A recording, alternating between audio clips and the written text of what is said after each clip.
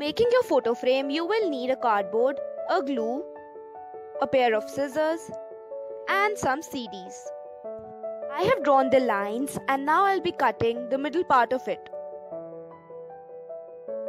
For covering this, we will need some black sheets. So friends, I have already cut out the strips in order to cover the boundaries of our frame. So the covering of the board is done. Cut a piece of cardboard which is slightly bigger in size than the empty space of the cardboard which you earlier cut so that you are able to cover it completely.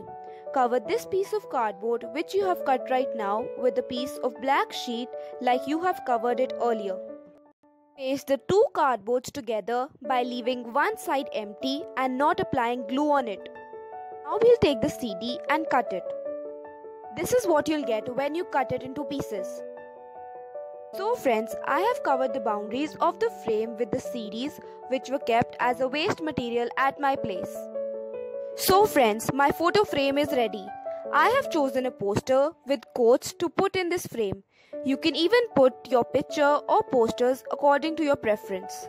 Also, I would say this is a really good, eco friendly, easy, and an amazing gift to give to your friends.